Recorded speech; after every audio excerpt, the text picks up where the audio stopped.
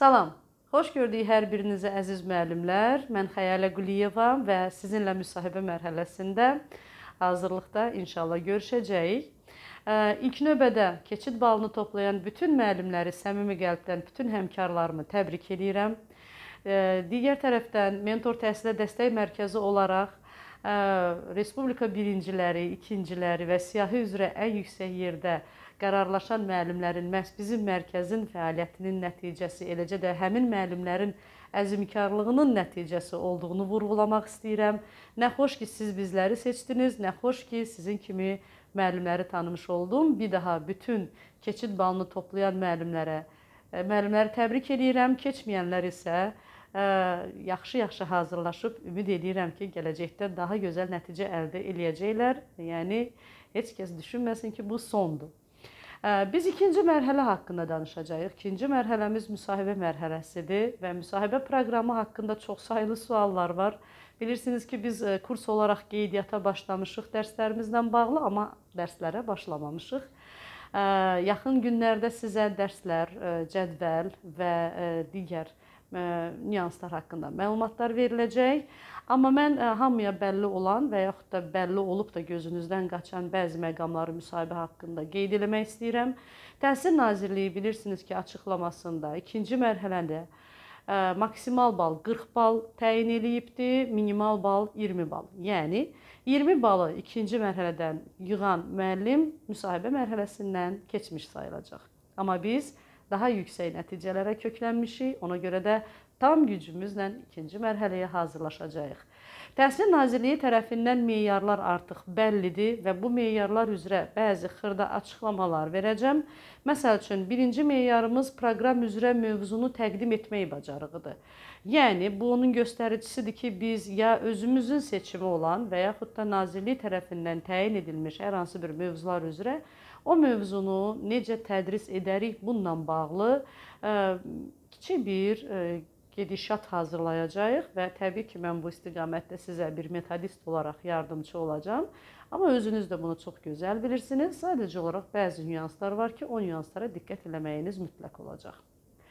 Təqdim etmə bacarığı, daha doğrusu özünü təqdim etmək bacarığı bu tərcümeyi hal deyil əzizlərim. Yəni mən filan kəs o filan kəs filanıncı ildə doğulmuşam və institutda getmişəm. Bu bu bu artıq təqdim etmə deyil, bu tərcümə haldır.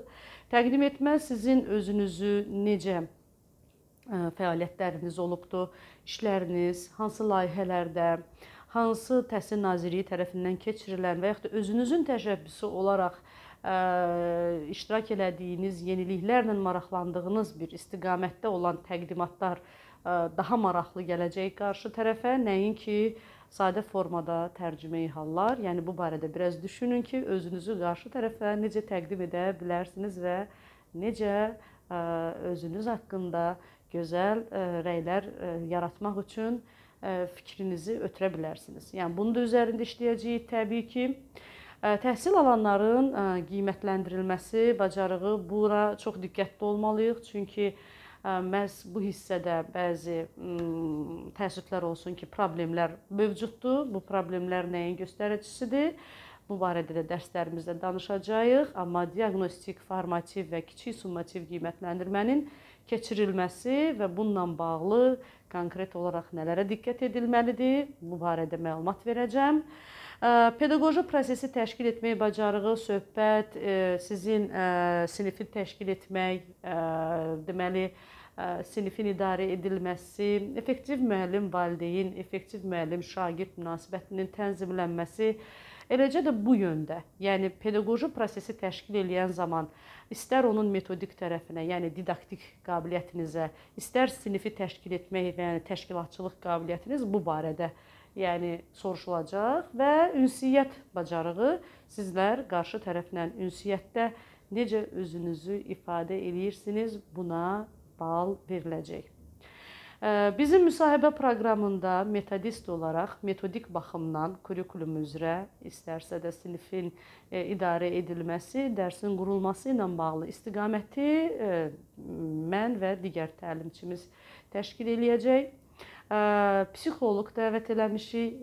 Müsahibədə özünüzü necə aparmalısınız, bədən dili, jestlər, mimikalar, özünüzü necə qarşı tərəfə təqdim edəndə daha münasib olar kimi tövsiyələrini verəcək və ekspertimiz olacaq, hansı ki, o da öz tövsiyələrini verəcək müsahibədə e, özünüzü necə aparmalısınız ki, maksimal bal toplayasınız. Yəni bir komanda olaraq maksimum kökləndiyimiz nöqtə sizi yüksək nəticəyə doğru aparmaqdır. Çünki mentorla gələcək daha yaxşı gələcək. Fəaliyyətinizdə sizə uğurlar arzu edirəm. Yaxın günlərdə dərslər, cədvəl və digər nüanslar haqqında menecer sizə məlumat verəcək. Diqqətinizə görə təşəkkür edirəm. Bir daha hər birinizi təbrik edirəm. Növbəti mərhələdə görüşənədək sağ olun.